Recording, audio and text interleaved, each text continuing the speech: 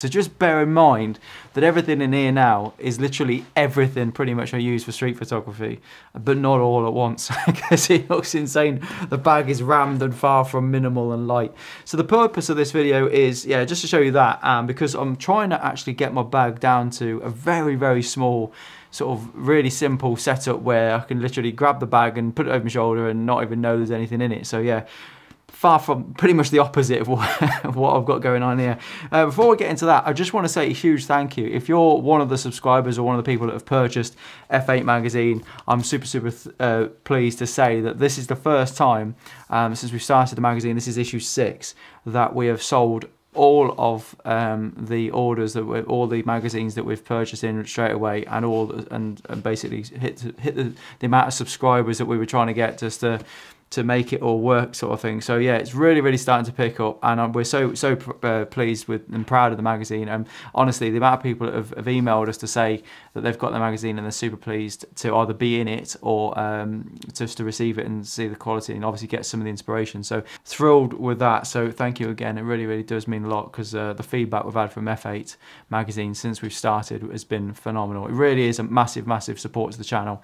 So anyway back to the topic in hand what's in my bag for street photography. Uh, this bag is absolutely flipping fantastic. I kind of stumbled across it by accident. It's a Vanguard.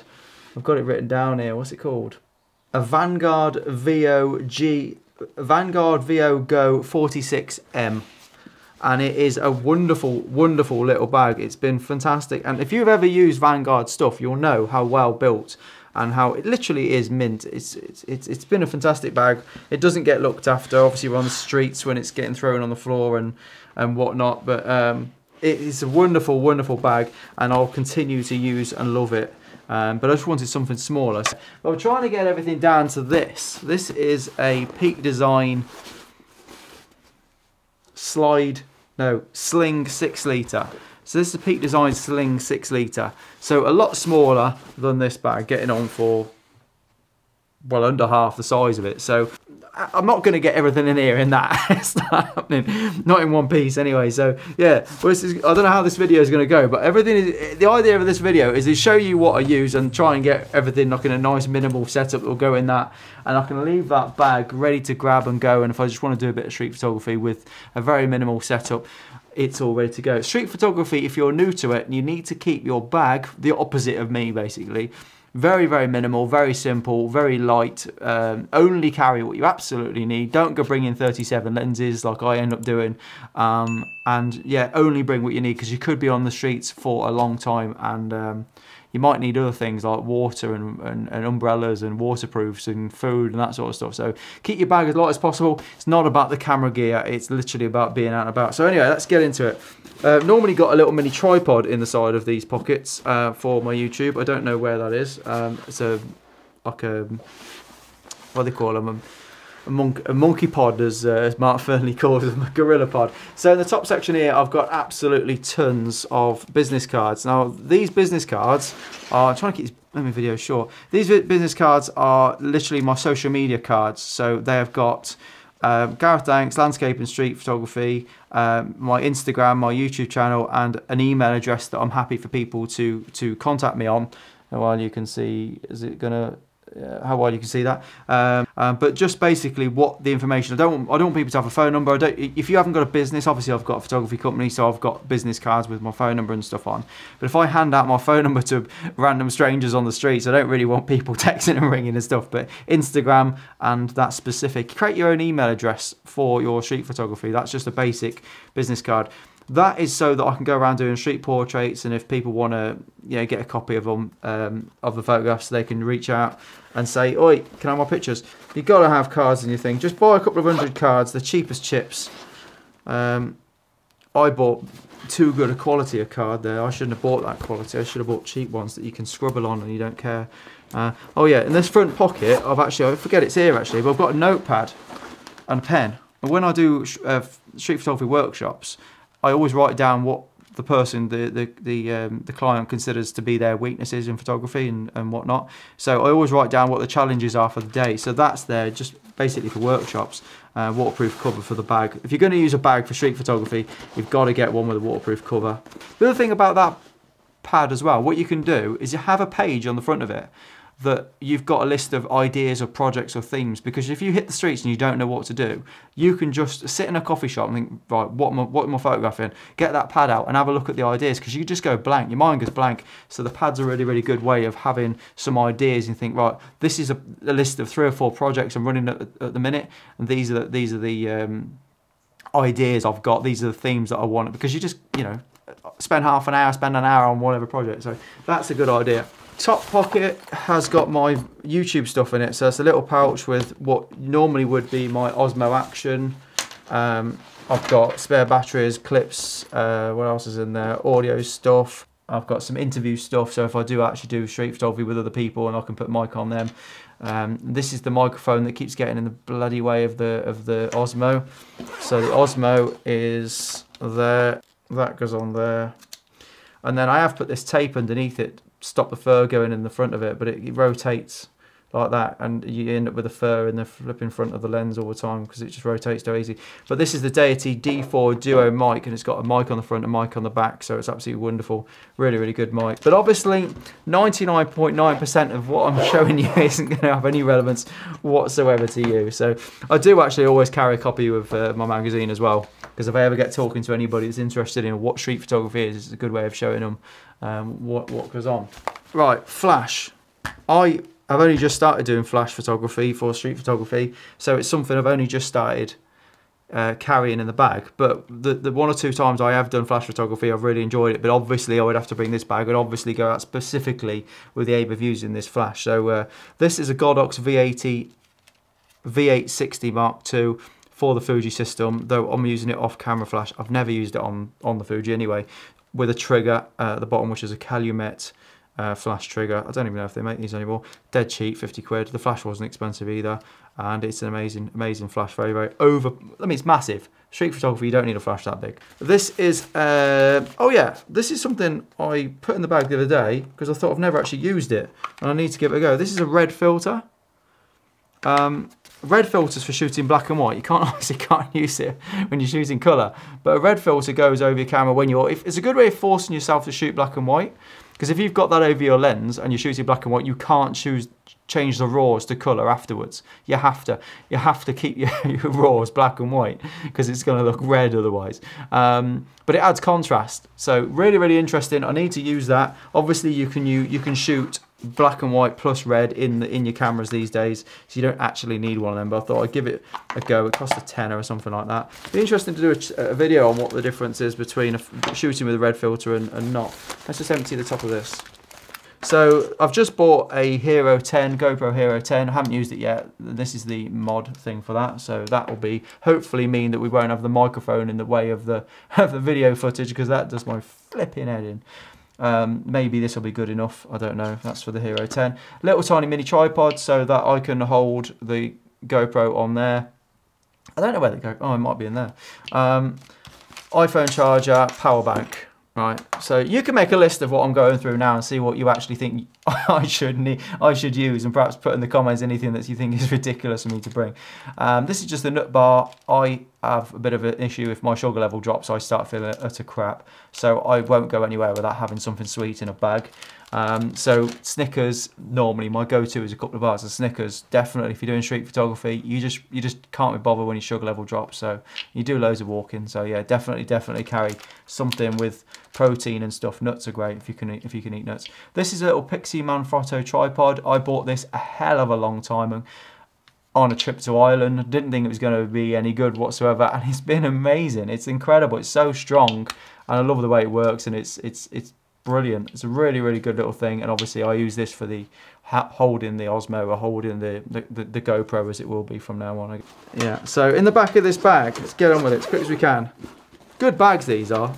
If you've ever tried Vanguard, so that's where I normally put the magazine in there, so it's nice and protected. That's for a laptop, but like hell, I'm bringing a laptop on street photography. Now I've got this little Nikon FM2 there because that's where I put. I'm not. I'm not a hipster. I, I would like to do more street photography with this. I just I don't rate my I don't rate the lens that's on it. It's it's yeah, I don't really rate this uh, 50 mm 1.8. It's the E, it's the E series, and it, it's just the focus moves too much on it. Um, so I, I, I, putting that there just that that's where I put my XT4 or XT3, whatever I'm filming on. So the XT4 with the 18 to 55 lens would go in there. So that's why that's there, so we can see that that's that's what that space is for. Now, if I've got that camera, it means that I have to bring this with me. This is my Nifty 50 1.4 from Fuji. Um, 35mm 1.4. I know they've just replaced this lens, but look at the flipping size of it. It doesn't weigh anything.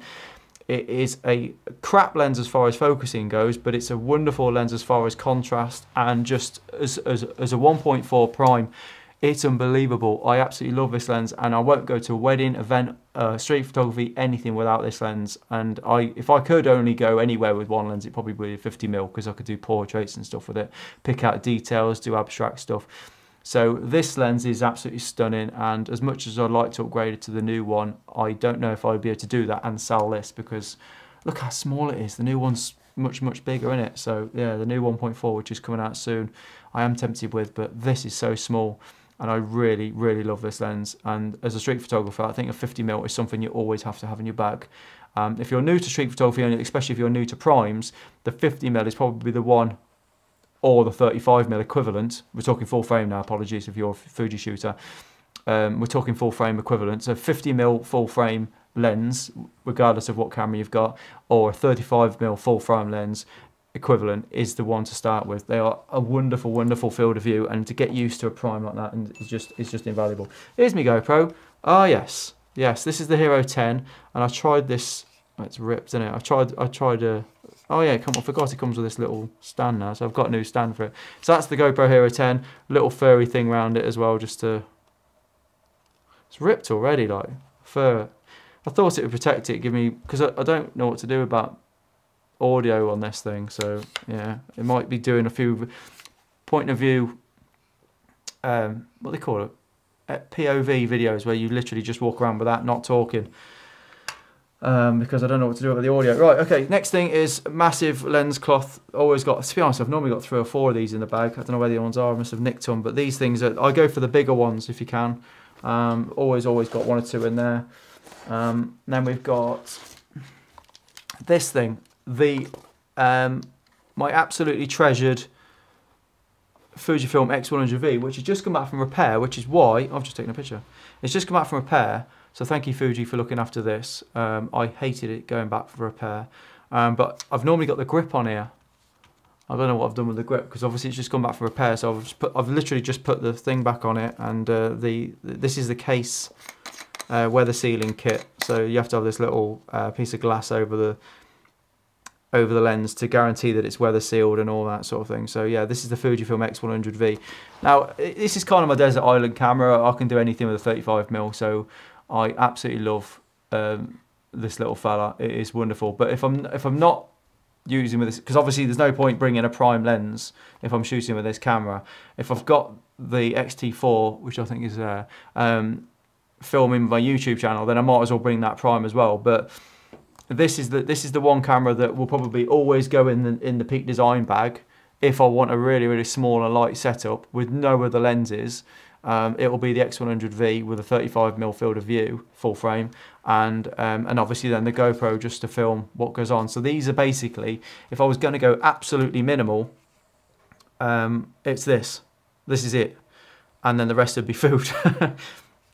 batteries for the X100V, batteries for the GoPro, charger, that sort of stuff.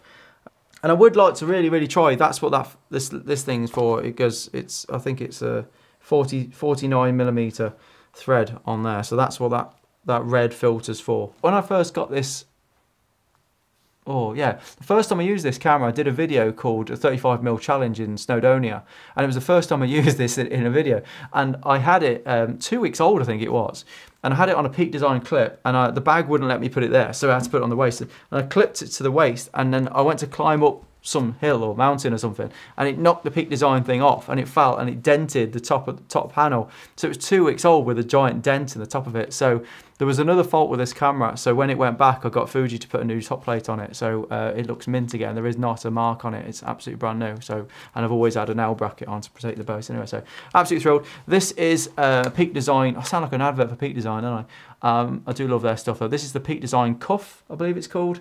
Um, and this is the second one I've had. I've lost my first one. I do not know what I've done with it, but this is the Peak Design cuff. They're they're quite expensive. About thirty pound for what they are. You can probably get a knockoff version cheaper, I guess, but it's very very reliable and it just goes around your wrist and stays there. And basically means that you've always got your camera. Or I haven't even used it yet. I only, only arrived the other day. Um, I haven't been out and done any street photography. It just means I've always got my camera around my wrist, and um, I love it. So you know, oh, that's close, isn't it? But all of that has got to fit in here. So I don't know. Um, I mean, if it's only if it's only going to be the X100V, that'll go there. Um, if it's only going to be the GoPro, that'll go there. And then probably got the tripod already on the GoPro. So pretty much, if I just wanted to grab a go out and do some street photography, to do a basic POV video, I can do it with that. And then just fill the top section there with batteries and memory cards and power banks um, and that's it. I might I might do a video on this red filter. I'm keen to see what the difference is with that. But yeah, that's pretty much it. So I'm going to try and do some more videos, more street photography. Oh, I've got one of them little silica things. And uh, what? they honestly do anything? in a, in a bag. I know they suck out moisture from lenses, but what does it do in a bag? It's not exactly airtight, is it? So yeah, it's a good bag. I chose this because it's six litres. I mean, it's it's it sounds small, doesn't it? But it's actually really big. And obviously, the, the idea then of this is just literally goes over my shoulder and it's, you know, it, it's out of the way. So I quite, I quite like the idea of this. And if I wanted to, I can click a microphone, I can click the um, Rode Wireless Go to there, or that sort of thing. So, um, and then then you've got the capture plate, which can go on the side. If you've got, uh, if, if you're familiar with Peak Design capture plates, I can get another one and put it on there. Um, but that's that is it. It's just literally everything's there. I can I think I've got my iPad Pro, which I don't even know if it will fit in here. I don't even. Oh, I'm using it here. Uh, I, am not one of those that carries an iPad. I know uh, my mate Roman does. Um, I've just bought an a new. I've just bought a new um, iPhone Pro Max, whatever you want to call it. So I don't really need an iPad. But if you did have an iPad, I suppose you could probably just fit it in the back there. And if you're one of those that likes to sit and sit in a cafe and edit your photographs and whatnot and see what you've got and, uh, and go through and edit them on an iPad and stuff or even make notes I suppose you could put it in there. Uh, there is a pocket in the front actually so I'll just zip it up. Yeah there's a big pocket in there. I wonder if you could get, get your snacks, power bank, lead. What else do I need? That's pretty much it, isn't it? That's pretty much all you need. So yeah, that's my minimal, super minimal street photography bag. Now obviously, if you're doing street photography, the last place your camera is actually going to be is in the bag anyway. So that bag there, that's going to be around my wrist. So that top section there is going to be empty. So it was me worried when I got this bag that it's going to be too small. But actually, if you think about it, in fact, that as well, that's going to be my hand when I'm filming anyway. So there's not going to be anything in the damn bag. so I don't know. Maybe I could do, I could put the flash in there. There you go, flash is in there. Don't need that microphone. That's in my hand, GoPro there. Job done. That's good. Anyway, I probably made this video five times longer than I wanted to again, so I'll leave it there. But yeah, I'll put links in the description to anything I've got there, and if you want to have a look and check it out. Um, I don't really know if Amazon affiliated links make any difference to, the, to these days and whether they, they're, they're, still a thing, but I'll put them down there. And if they do help me out, I've never seen any reward from it. Um, but yeah, thanks for watching. If you haven't already, hit the subscribe button and uh, do check out F8 Magazine. And if you are a subscriber, let me know in the comments. Uh, I'd love to see um, some more feedback. So if you are a subscriber to F8 Magazine, let me know in the comments what you think of the magazine. So I'm, I'm really, really proud of it. And again, we wouldn't be able to continue doing my YouTube channel without uh, your support. So I do really appreciate those of you who have, have bought the magazine. So thank you so much for watching. And uh, if you haven't already, hit the subscribe button. And I'll see you in a, a, future, a future video actually going out and using my new bag and stuff like that. anyway, take care, guys. Thanks for watching. See you soon.